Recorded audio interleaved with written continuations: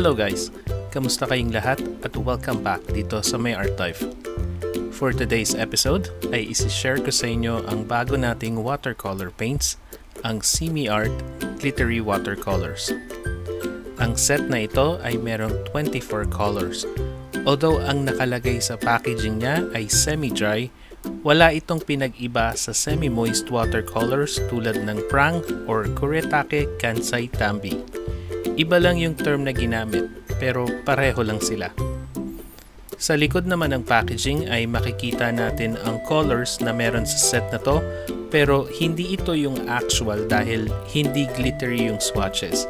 Pinakita lang nila kung ano-ano yung shades ng kulay na meron dito.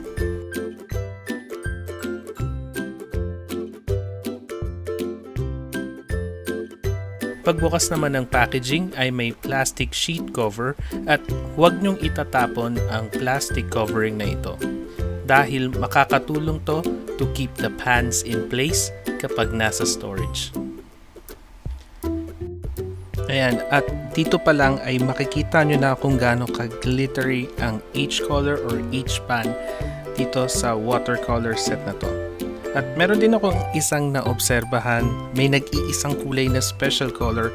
Ito ay hindi ko alam din kung blue or violet pero iridescent siya. So nag-change siya ng kulay depende sa angle ng ilaw na tumatama sa kanya.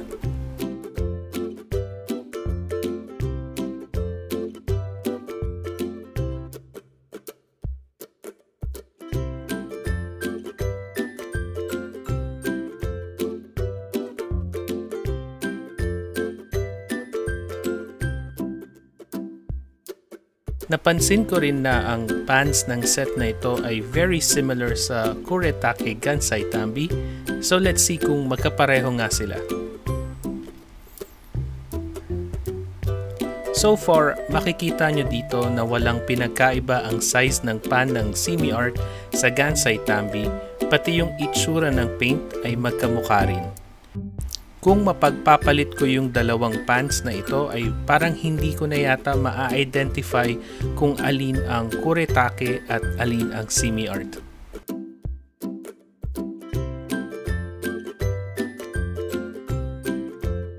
So ngayon, ready na tayo mag-swatch para malaman natin kung maganda ang quality ng semi art glittery watercolors. Honestly, in terms of price, medyo mahal ang watercolor set na to. Pero kung ikukumpara sa ibang branded na glitter or metallic watercolors, mas mura pa rin siya. Sulit na rin to dahil meron ka ng 24 colors at full pans ang lahat ng kulay kaya medyo matagal mo to bago maubos at matagal-tagal mo siyang magagamit.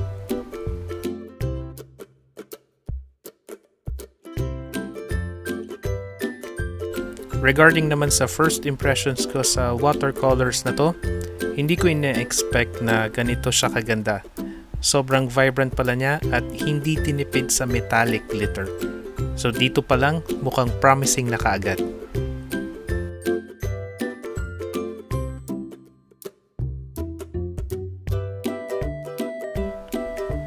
Gusto ko ulit ipakita sa inyo itong nag-iisang iridescent color ng set na to. And kanina 'di ba nag-blue and violet siya depending dun sa lighting. And depende rin pala sa background. Sa white, pink siya and then sa black background, blue siya.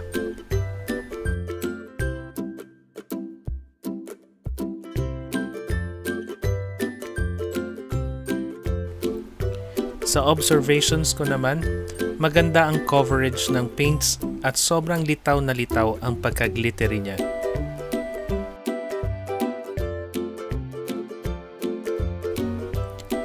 Kung mapapansin din ninyo, yung each box sa swatch natin ay nakahati sa dalawa, white at black.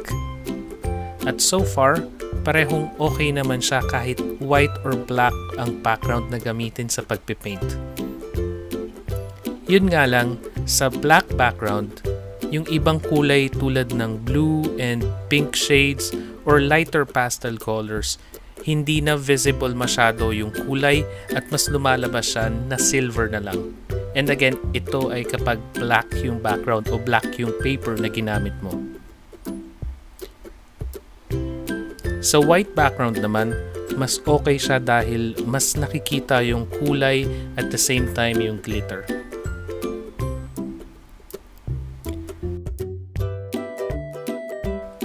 Sa type naman ng papel, make sure na yung gagamitin yung papel ay absorbent.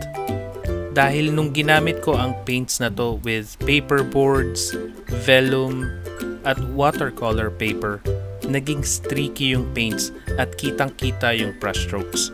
So hindi ko masyadong nagustuhan yung outcome niya. Well, maybe unless na lang yun talaga yung intention niya with your uh, art style. Pero para sa akin, mas maganda yung resulta nung ginamit ko siya with absorbent paper tulad ng sketch paper na 200 GSM.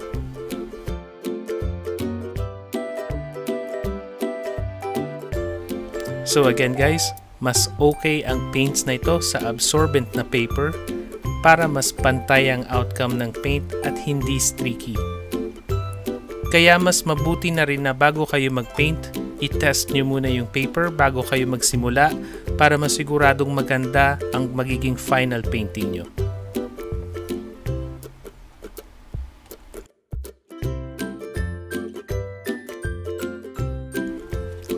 Sinubukan ko rin to kung magiging chalky or powdery yung surface ng paint kapag natuyo na. So far naman, walang powdery residue. Yun nga lang, may konting glitter na dumikit sa daliri ko nung hinawakan ko siya.